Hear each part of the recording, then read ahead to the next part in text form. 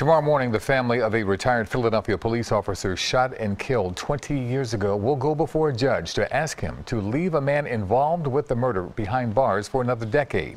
As Eyewitness News reporter David Spunt shows you, the retired officer's family is furious that the man may be let out of jail and soon. He was a larger than life type individual when it comes to the middle class, saw the earth type regular guy. Contacted so many people and impacted so many people's lives.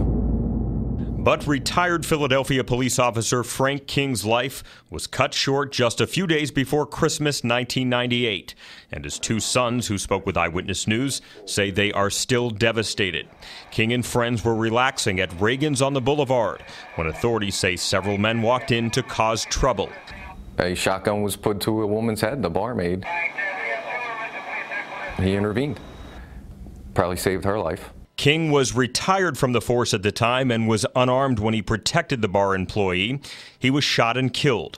The man who pulled the trigger, Robert Ramirez, is behind bars for the rest of his life. Another man, Aaron Smith, was with Ramirez but did not pull the trigger, and he was convicted of second degree murder.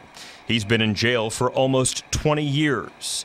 Smith was sentenced to life in prison, but a U.S. Supreme Court decision put out in 2016 indicated people like Smith need to be resentenced. We understand the ruling. Do we totally agree with it? No, but we will accept it. What the family will not accept is Smith getting out of prison in the near future.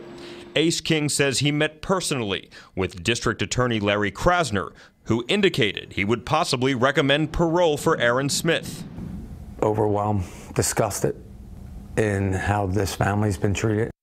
Though Smith didn't pull the trigger, King and his family believe he should be behind bars for another 10 years.